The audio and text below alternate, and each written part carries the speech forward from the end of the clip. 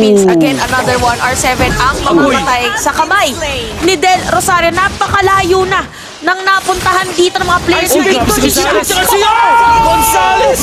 Gonzales stepping up! Manyak! Wala, wala, wala, wala, wala, wala, wala. O pero ubos! Ubos ang Indonesia! Ginulat ang lahat! Tanda, Trita, kaya, kaya tang i-tatlong tore. Kaya itatlong Kaya. tore. Ay, di, may Kaya. sabog, may sabog. May sabog. Uy, pero may minion, may May minion, minion, may tira! May tira! Yun na ba yun?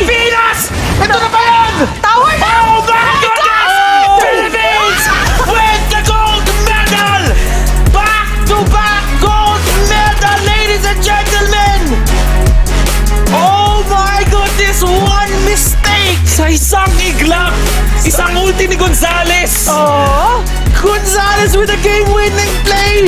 Who would have thought yung rookie na sinasabi na hindi magpe-perform, si Soto na hindi daw magpe-perform, sila ang nagdala sa Pilipinas sa gold medal!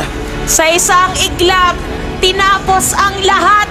Team Philippines, Team Seaball with that win. Hindi ko in-expect. Ah, Hanggang third tower lang yung kinakount natin. But it was a win for our delegates, for our champions.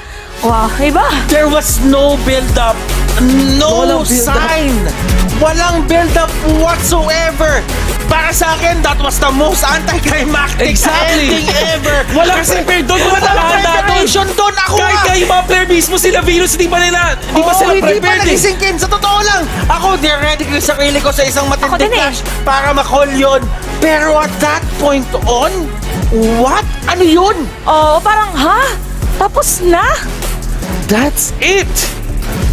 Wow. Isang Ano? Nibiru's Passion na kumonekta sa dalawa, flicker in, nakakuha ng double kill, hindi man lang naka-ulti yung DG, hindi man lang naka-ulti yung 1-1, and we're talking about that.